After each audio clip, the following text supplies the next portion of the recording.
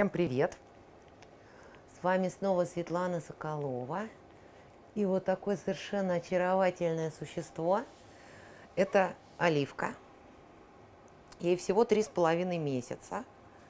Это вот, я не знаю, говорят килограмм, но, по-моему, там грамм 600, наверное, вот так весу. И это той пудель. Это совершенно потрясающее, контактное, ласковое и нежное существо. Вот. Сегодня мы будем учиться ухаживать за щенком, у которого есть шерсть. То есть на примере оливки мы будем показывать то, что нужно делать с бешонами, то, что нужно делать с пуделем, то, что нужно делать с мультипу. То есть любая волосатая собачка, которая появилась в вашем доме, вот, независимо от породы, нуждается примерно в одинаковом уходе. Так что мы сегодня расчешемся, мы сегодня помоемся, уберем вот эти ласты вот безобразные, пострижем коготочки. Вот. И, в общем, проделаем все то, что любой хороший владелец, ответственный, должен делать со своим щенком.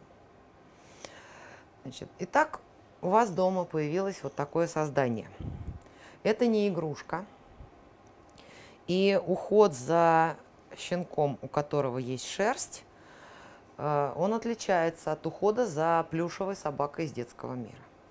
То есть недостаточно просто покормить, посадить, э, пописать на пеленку. Это нужно расчесывать, это нужно э, мыть, это нужно сушить, это нужно стричь коготочки. Вот, для того, чтобы щенок был здоров и счастлив. Вот. Обычно к нам э, вот такие маленькие товарищи попадают где-то как раз в этом возрасте, когда сделаны все прививки, пройден карантин. Вот. И добро пожаловать приучаться к грумингу. Значит, сразу э, первое, что нужно для себя определить. Вот э, будем разговаривать о пуделе. Если ваша собака планирует посещать выставки, ну, точнее, если вы планируете для своей собаки посещение выставок, вот здесь э, очень важный момент. Мы пуделю сразу начинаем брить моську и брить лапки. И делать это нужно достаточно часто, не реже, чем раз в две недели, для того, чтобы приучить мордочку и лапы к короткому бритью. Значит, если выставки не планируются категорически, тогда, в принципе, уже можно кое-что подстричь, то есть придать форму мордочке. Сейчас очень модно азиатские всякие стрижечки э, с круглой моськой. Вот. Но это то, что вы должны для себя определить э, в достаточно юном возрасте вместе с заводчиком. То есть нужны ли вам выставки. Потому что если мы начнем делать э, там мимимишные азиатские прически, перейти обратно на взрослые пуделины, отрастить заново гриву, которая не растет с детства, да, это мы отращиваем с детства все, ну, достаточно сложно. Вот. Наоборот, проще, хотя, если вы хотите, чтобы мордочка была вот такая кругленькая, мультяшная, то тоже клюв не бреем с самого раннего детства. Поэтому это первое, что вам нужно для себя понять. Второй момент. Э, вам нужно определиться, как часто вы готовы вообще посещать грумера. Почему? Потому что щенка приучать гораздо легче, чем приучить взрослую собаку. И нет, э, наверное, ничего более плачевного, чем пудель, который пришел, ну или бешон, или мальтеза, да, неважно, который приходит к нам в салон в годовалом возрасте, ни разу не бритый, не стриженный, не мытый, как правило, не прочесанный. То есть вот здесь действительно идет насилие уже над собакой, над достаточно взрослой. И, как правило, если собачка ни к чему не приучена, то нам очень сложно с ней работать. Поэтому приучаем заранее. Значит, э, номер раз. Что нужно сделать? приучить к расчесыванию. Сейчас есть в продаже вот такие вот э, силиконовые щеточки, очень мягкие, очень комфортные, причем, как правило, владельцы утаскивают э, эти щетки себе, потому что действительно ощущения очень приятные. Вот приучать щенка самого маленького к расчесыванию я рекомендую именно при помощи вот такой щетки. Потому что это комфортно, это не царапается, не тянет шерсть.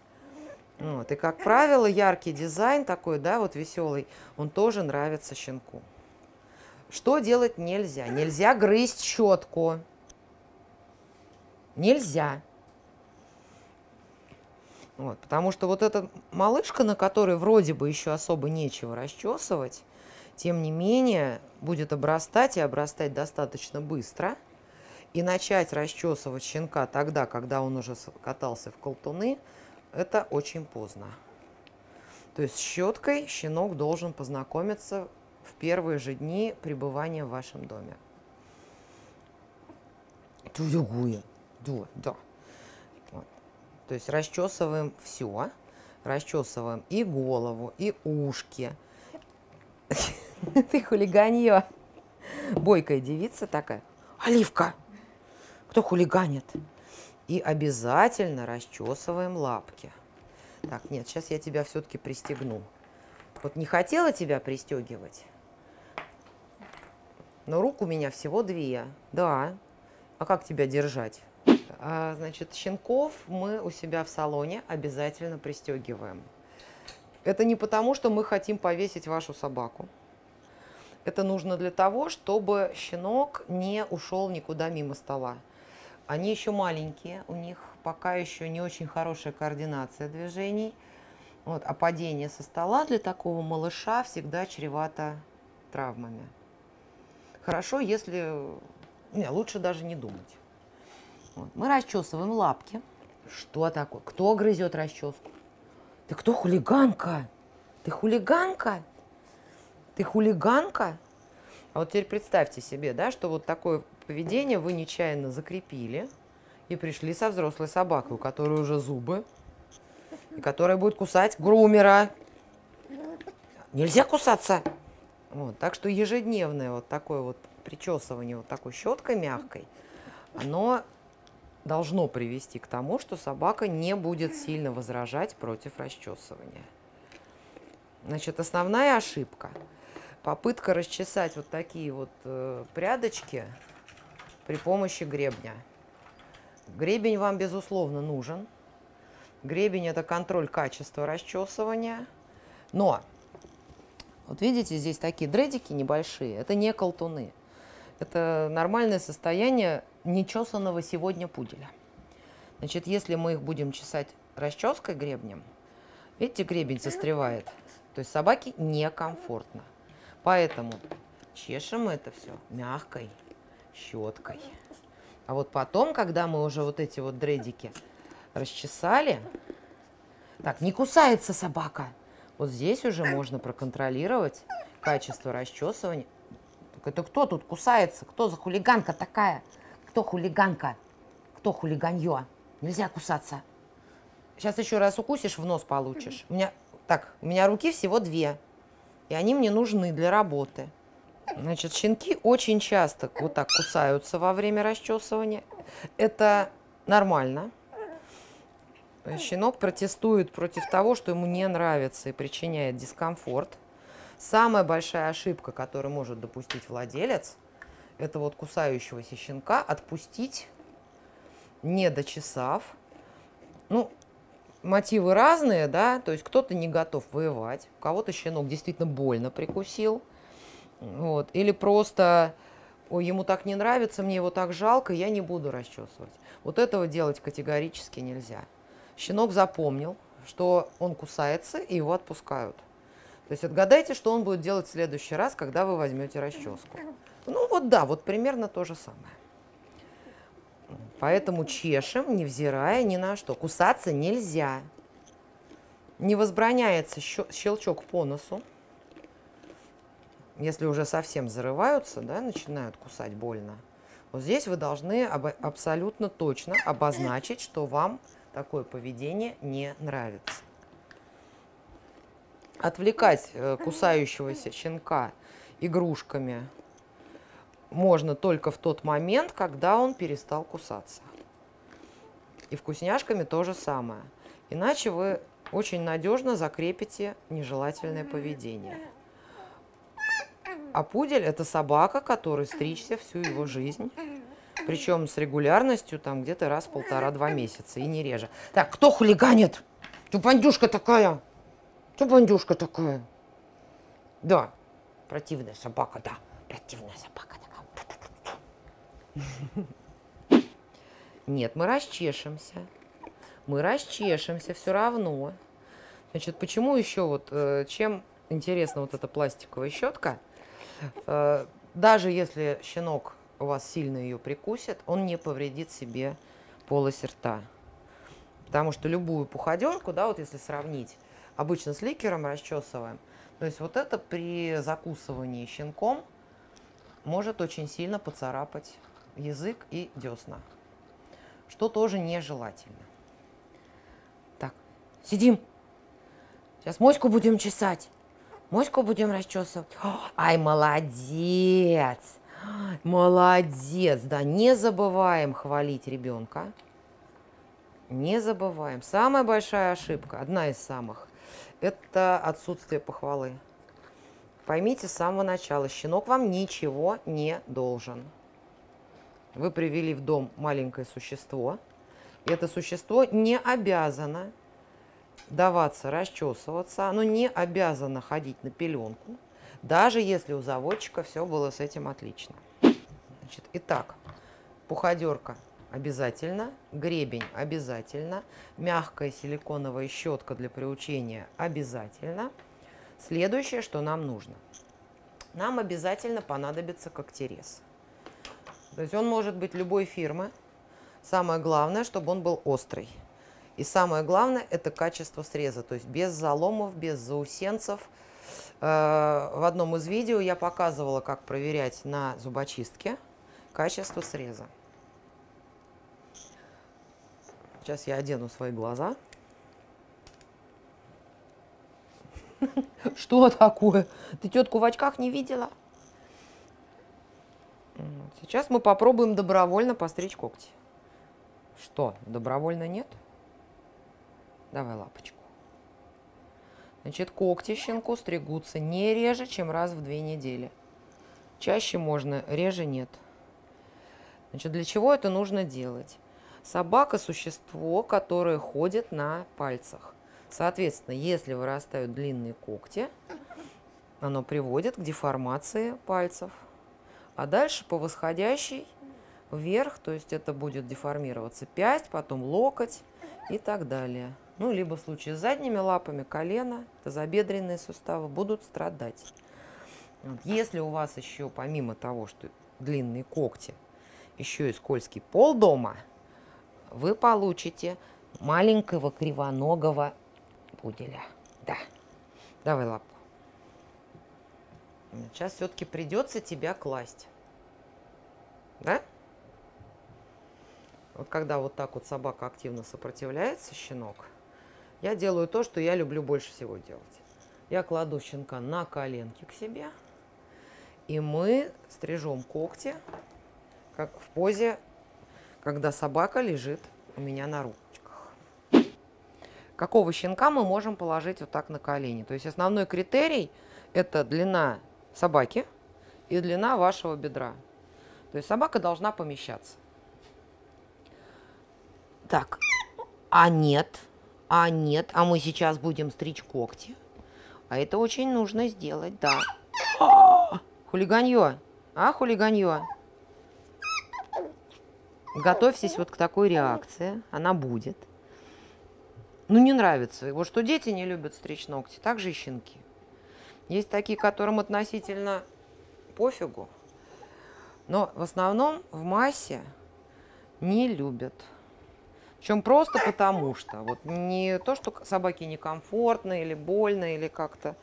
Вот из принципа. Не хочу лежать и все, не буду закладывается вот эта вот дисциплина с раннего детства.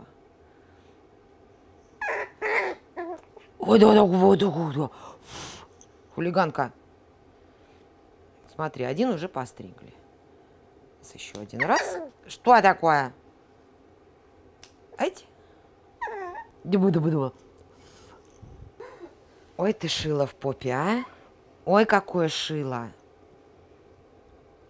Если уже совсем ничего не получается, берете полотенце и заворачиваете щенка в полотенце. Желательно коготочки подточить, чтобы они не царапались. Для этого мы используем вот такой вот электрический гриндер. Гриндер это название вот именно инструмента для заточки когтей.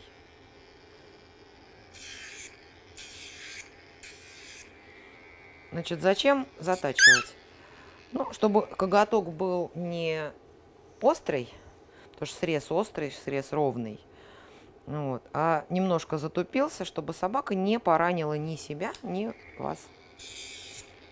Эти собачки много времени проводят на ручках. И очень важно, чтобы она вас не поцарапала нечаянно. Ну, молодец! Ты умница. Ты умничка, зайка. Молодец, Оливка. Не забываем хвалить щенка, когда он делает все правильно. То есть все как с ребенком. Поведение желаемое – хвалим. Поведение нежелательное – ругаем. Еще раз повторю, щелчок по носу не возбраняется. Ты моя зая. Ты умничка. Умничка, зайка. Умничка моя зайка. Вот смотрите, мы уже почти научились лежать на ручках. Давать лапки, да? Кто кусает меня? Кто мне кусь делает? Нельзя кусь. Вот в этом возрасте щенок уже должен знать слова-маркеры. Это всего-навсего два слова «да» и «нет». То есть для того, чтобы полноценно общаться и понимать друг друга, щенок должен выучить элементарно два слова. Это «да», которое произносится с такой интонацией «Да, ты молодец! Ай, супер собака!» И каждый щенок поймет, что вы его хвалите. И слово «нет», которое произносится в случае нежелательного поведения – это как маркер, который обозначает, э, продолжать действие или нет. Да, молодец! Вот еще мы сегодня оливки обязательно побреем вот здесь вот подушечки. Потому что вот эта шерстка, она явно лишняя. Вот. Если вы сами не в силах справиться со стрижкой когтей. Ну, по разным причинам многие люди боятся, да, вот, Хотя, в принципе, ничего такого страшного, криминального в этом нет. Значит, рядом с домом у вас всегда есть либо ветклиника, либо груминг-салон, куда всегда можно прийти и постричь только когти. И ничего другого не делать. Да? Ты молодец. Да, ты умничка. Умничка маленькая. И не забываем хвалить щенка. И сейчас мы познакомим оливку еще с одним инструментом, который ну, обязателен, потому что им пробриваются вот подушечки вот здесь, вот им попка пробривается для гигиенических соображений. Значит, подушки важ... открытые, да, они важны для сцепления с поверхностью. Значит, в чем трудность работы вот с такими маленькими собачками? То, что сила, с которой удерживаешь лапу, она минимальна. И в то же время нужно зафиксировать щенка, чтобы он сам себе ничего не повредил. То есть поэтому нужно добиться от вот этого существа, чтобы оно лежало, ну, в принципе, почти добровольно. Минимальная длина оставляемой шерсти вот здесь 0,8 миллиметра, 0,8. Короче, не рекомендую, потому что тоже может спровоцировать, ну, как любое короткое бритье, может спровоцировать раздражение. Хулиганка. Хулиганка, оливка.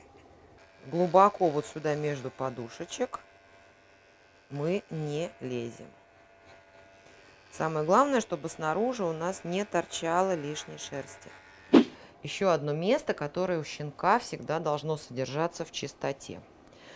Э, поскольку вы уже его забрали к себе, значит, у него нет мамы, которая будет ухаживать. И вот здесь владелец должен взять на себя функции, которые обычно проводит сука со щенками. Значит, мы вот так вот пробриваем само анальное отверстие. То есть мы не стрижем широко, мы пробриваем очень немножко шерсти для того, чтобы попка была всегда чистая. Это вам облегчит уход, чтобы не липли каки. И вот точно так же мы пробриваем саму петлю. Ну, не нужно, чтобы здесь скапливалась моча.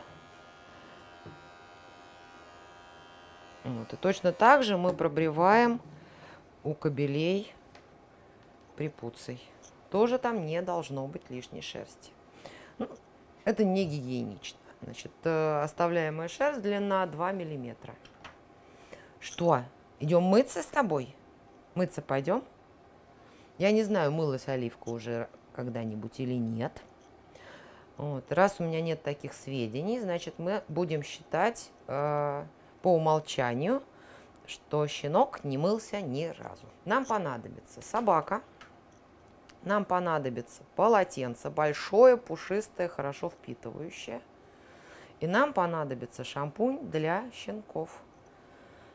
Значит, до года я рекомендую использовать шампунь щенячий. Если собака выставляется, тогда с полугода можно использовать уже профессиональные шампуни для выставочных собак. Но лучше всего малыша мыть шампунем для щенков. Да. Итак, вы впервые моете своего щенка. Значит, что нужно приготовить заранее? Сразу приготовьте полотенце, как я уже говорила, толстое, большое, хорошо впитывающее. Несмотря на то, что оно в 20 раз больше щенка, оно нам понадобится. Э, застелить либо ковриком не скользящим дно ванны. Не допу... Надо не допустить, чтобы щенок поскользнулся. То есть щенку должно быть устойчиво, комфортно. Э, в идеале заручиться помощником, который будет подстраховывать вашего щенка от того, чтобы он не убежал, не поскользнулся и ничего с ним не случилось. Щенок должен быть предварительно расчесан, вот. И было бы очень круто э, приобрести специальную петлю страховочную, то есть которая одевается вот так, крепится за шею, для того, чтобы щенок не мог убежать куда-то и сам себе навредить. Значит, мочить собачку мы начинаем теплой водой. То есть температура как для себя чуть-чуть теплее. Мы учитываем э, небольшую массу тела, то есть поэтому нам по ощущениям вода должна быть такая хорошо теплая. Значит, не делаем полный напор. То есть напор должен быть не сильный, чтобы не напугать щенка. И мочить мы начинаем аккуратненько вот здесь вот с задних лапок, с попы. То есть постепенно, постепенно, вот так вот, доходя до головы. Господи, там здесь собака-то где? Где собака-то? Это что за личинка здесь, микроб? Ну, вот, видите, собака резко уменьшилась в размерах. Дивая зая такая, да. Значит, и вот здесь вот мы делаем то, что я обычно не делаю с маленькими щенками, потому что пуделю надо приучать мыть голову. Так же, как Йорка, так же, как Мальтеза, Бишона, то есть неважно. Любая волосатая собака должна быть приучена к мытью головы. Если не с первого раза, то хотя бы со второго. Мы закрываем вот так моську, пальчиками закрыли ушки и немножко вот так полили. Не страшно. Значит, протест будет в любом случае. Я знаю очень мало щенков, которые вот к первому же мытью относятся совершенно спокойно. Как правило, им все равно некомфортно. Но так же, как маленькие дети. Значит, дальше мы берем шампунь щенячий. Я развожу опять вот в тазике в маленьком. То есть шампунь для щенков, детский. Мы его обязательно разбавляем водой. Мы никогда не наносим на щенка концентрированный шампунь, даже если на флаконе написано, что он готов к применению. И вот так при помощи мочалки мы наносим на щенка пену. То есть вот взбили пену, и вот этой пеной мы моем маленькую собачку. Значит, шампунь для щенков, как правило, не щипит глазки. Но это не значит, что мы должны его прям в глаза лить. В глаза, в нос, в рот, в уши мы ничего никогда не льем. Ушки не забываем промывать. Потому что это та часть пуделя, которая всегда пачкается в миске. Обязательно промываем мордочку. Раз уж мы решили не брить морду, то, соответственно, нам ее надо намыть. Моем лапочки. Да? Чего мое солнышко? Господи, кто сказал, что здесь килограмм? У вас весы врут. Обязательно попу промываем. То есть еще раз напомню, что несмотря на то, что щенок чистый, у нас сегодня задача приучить к мытью, приучить к сушке феном, к расчесыванию, то есть познакомить вот этого ребенка с процедурами, которые проводим в груминг-салоне. Потому что собака стригущаяся порода. Вот, и стричься ей предстоит всю оставшуюся жизнь. Достойно сожаления, когда из-за особенностей характера, из-за несвоевременного приучения пудель приходит раз в год побриться под машинку. Ну, это реально, это ужасно. Потому что безумно красивая собака, очень красивая шерсть, очень интересные стрижки можно делать, настричь можно все, что угодно, да, были бы волосы. И когда вынуждены вот это вот раз в год сбрить колтуны по весне, ну это, конечно, ужасно. Все, мы собаку намылили, промассировали шерсть. Вот, и теперь также с попы, с задних лапок мы начинаем шампунь смывать. Шампунь смыть надо очень хорошо на щенке не должно оставаться шампуня. Очень жалко, что камера не передает запах, потому что я вот этот шампунь обожаю не только из-за того, что он прекрасно моет, хорошо кондиционирует, да, он еще и великолепно пахнет. Вот, кстати, мы видим, что хорошая упитанность у щенка, то есть не отнять, не прибавить. Это можно разглядеть на мокрой собаке. Что такое? Кто хулиганит? Кто? Кто хулиганит? А я все равно тебе морду помою, да, даже если будешь кусаться. Значит, не льем долго на голову, чтобы вода не попала в дыхательные пути. На короткое время щенки умеют задерживать дыхание. Кто бандюшка маленькая? М? Хулиганка. Вот, тщательно, тщательно смываем с лапок, отовсюду. Вот это характер, а? Ты не оливка нифига. Ты злыдня маленькая. Хулиганка. Что, смотрите, да, хвост кверху. То есть это не то, что она от страха, да, так себя ведет. Она реально пытается напасть на лейку душа.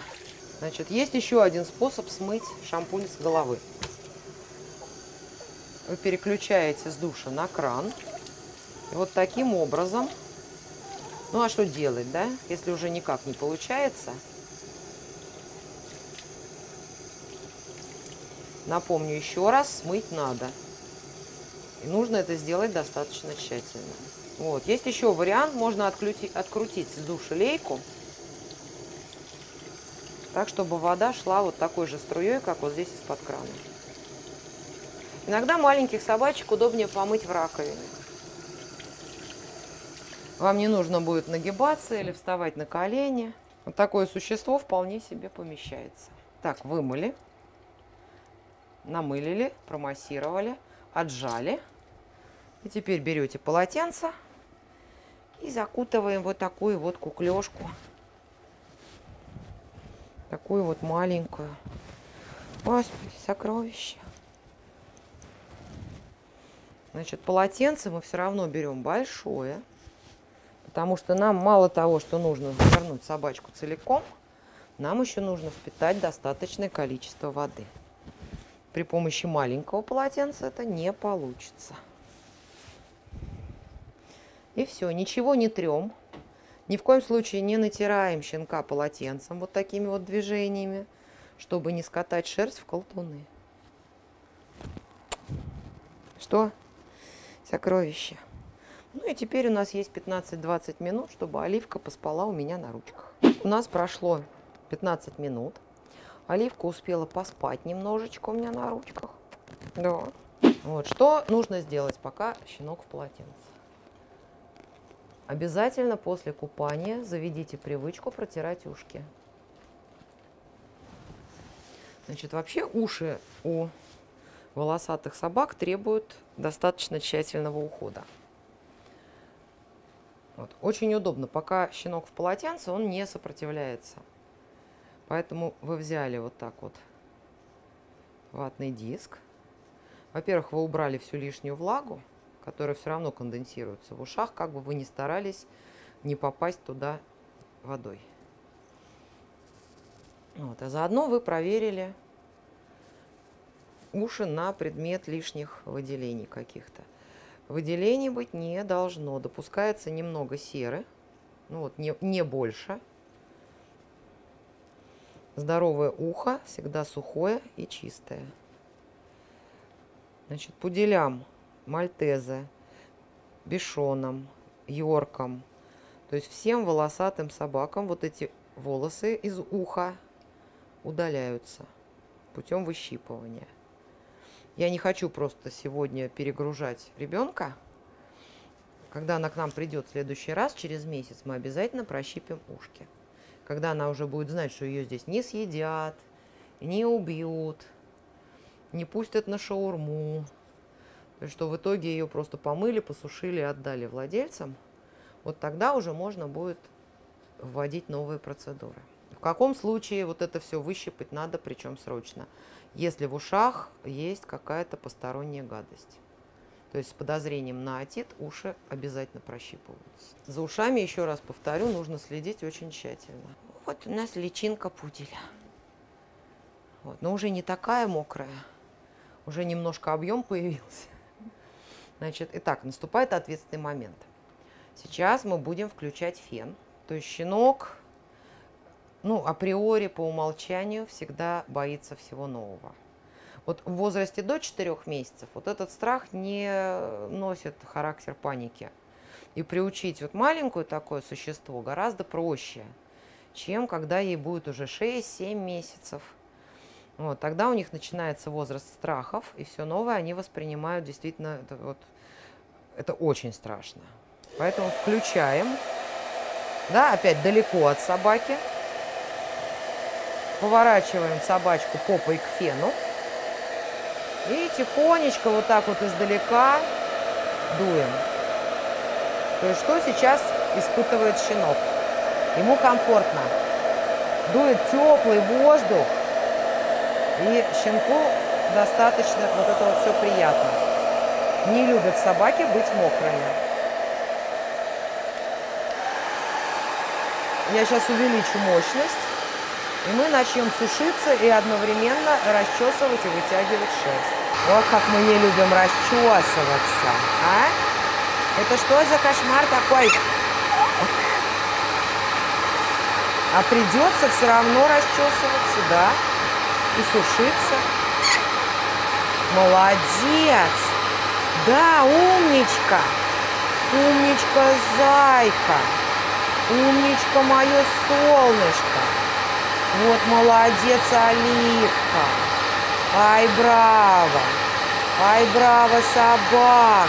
Вот так же дуем с затылка, сушим мордочку. Приди... Нет. Нет.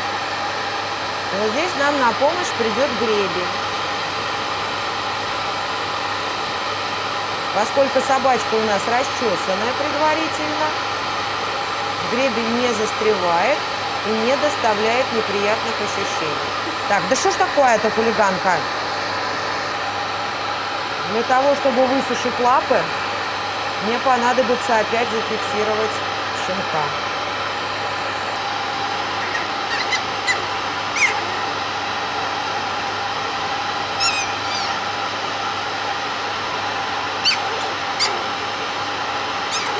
Так, прекратила. Нельзя. Нельзя. Да, молодец, умничка. Умничка собака.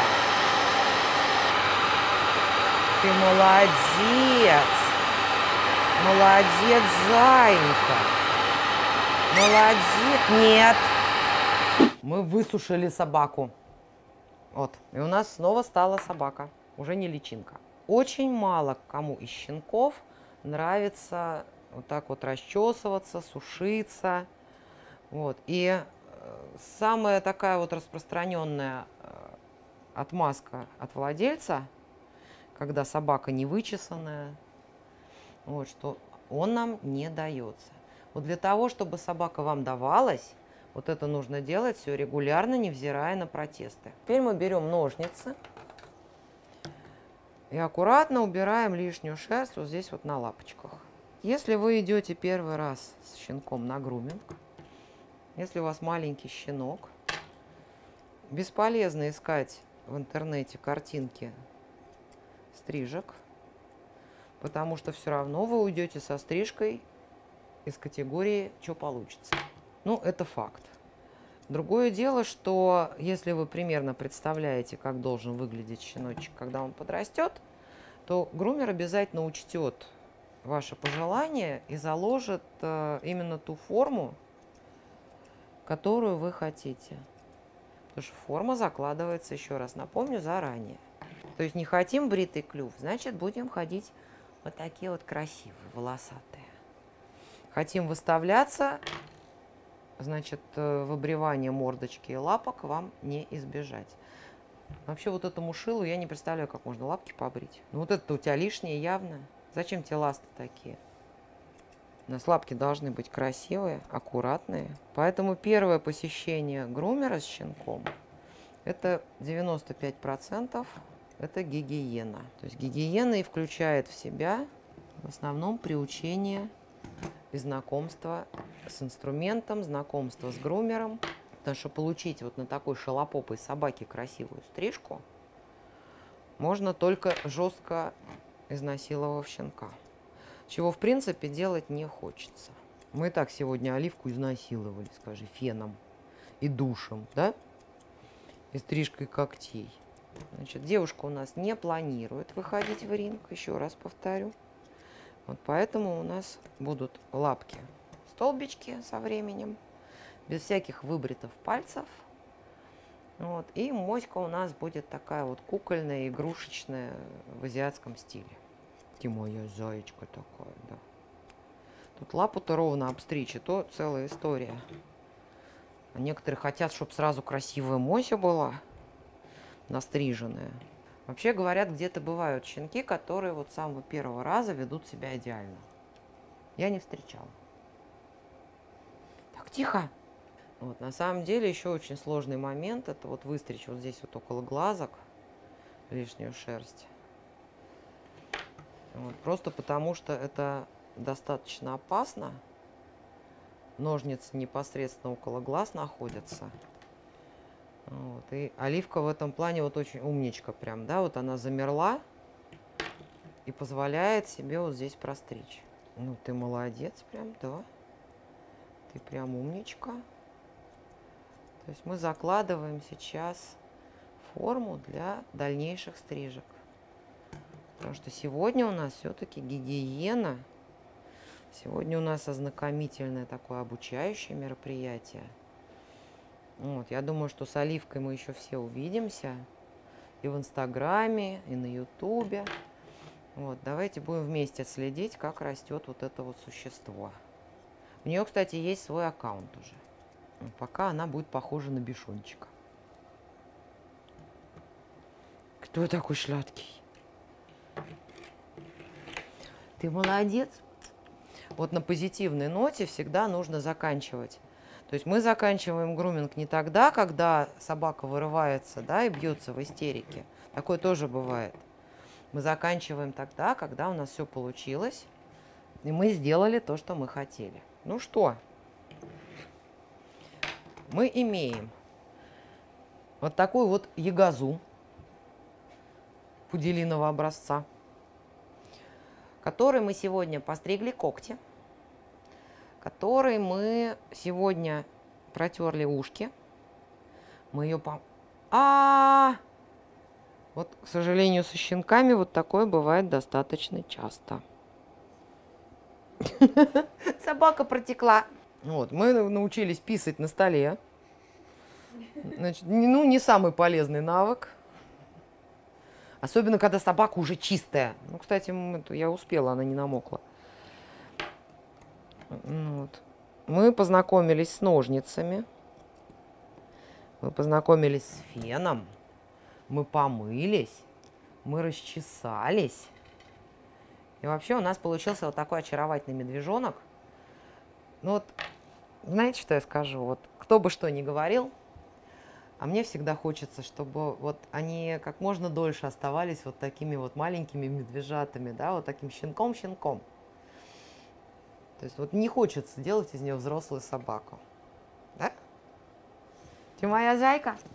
Ты умница. Да, ты умница такая вот. Самый главный результат то, что она идет ко мне целоваться, обниматься, она виляет хвостом. Это говорит о том, что мы сегодня все сделали правильно. Вот. Ну и напоследок, как обычно, кормите свою собаку правильно. Пока-пока.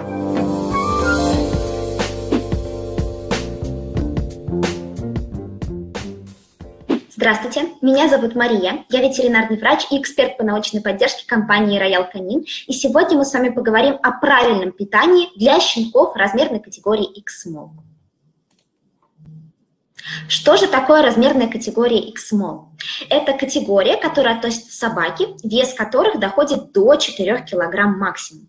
То есть мы понимаем, что подбирая рацион для щенка во взрослом возрасте, он будет весить максимум 4 кг. И для таких вот щенков компания Royal Canin разработала рацион Papi X-Small. Итак, Давайте сначала обсудим основные моменты данного рациона, основные его особенности. Здесь, во-первых, важно сказать срок применения данного рациона. Его можно употреблять с двухмесячного возраста до 10-месячного возраста. После этого мы можем использовать рацион Adult X-Small или мы можем переходить на специальные чистопородные продукты. Итак, давайте обсудим основные моменты данного рациона. Первый очень важный пункт – это поддержание процессов роста и развития. Мы знаем, что процессы роста и развития достаточно энергозатратные, ведь щенок очень активно растет, развивается, познает окружающую среду, много играет, и ему важно откуда-то получать эту энергию для роста, развития и игр. И эту энергию дает рацион. В рационе содержится высокое количество энергии, высокое количество белков для процессов роста и развития. И также в продукте реализовано правильное соотношение кальция и фосфора для поддержания развития скелета и суставов щенка. Следующий очень важный момент – это защита иммунитета. Мы знаем, что с 4 до 12 недели жизни щенки сталкиваются с такой проблемой, как иммунная дыра. Что это за состояние? Это значит, что материнские антитела, материнская защита постепенно начинает спадать, уходить на нет. А собственные антитела, собственная защита еще также не выработалась и остается тоже на достаточно низком уровне. И вот в этот период очень часто щенки находят новый дом, у них происходит первая вакцинация, первая дегельминтизация. И, конечно же, требуется защита иммунитета, требуется поддержание иммунитета. И в этом нам помогает комплекс из антиоксидантов. Витамин С, витамин Е, лютеин и таурин усиливают действие друг друга и поддерживают иммунитет щенка. Следующий очень важный момент – это поддержание работы пищеварительной системы. Ведь мы тоже знаем, что она достаточно чувствительная, особенно в период с 6 по 8 недели жизни. Печень еще не работает в полную мощь, гормональная система тоже не до конца справляется со своими обязанностями. И поэтому очень часто возникают определенные чувствительности и проблемы со стороны желудочно-кишечного тракта у щенков. Чтобы поддержать работу желудочно-кишечного тракта щенка, нам нужны высокоусвояемые белки. Нам нужна комбинация из различных видов клетчатки, как растворимой, так и нерастворимой, для поддержания моторики желудочно-кишечного тракта, для поддержания местного иммунитета в кишечнике, ну и, конечно же, для поддержания баланса правильной микрофлоры в желудочно-кишечном тракте. Также в продукте используется специальное вещество, как юга-шитегера. Это тот компонент, который снижает запах стула у щенков, что достаточно важно в этот период их жизни. Ну и также важно сказать о том, что в продукте реализована маленькая и очень удобная форма крокеты, которая как раз-таки подходит для разгрызания маленькими челюстями щенков. Благодарю за внимание.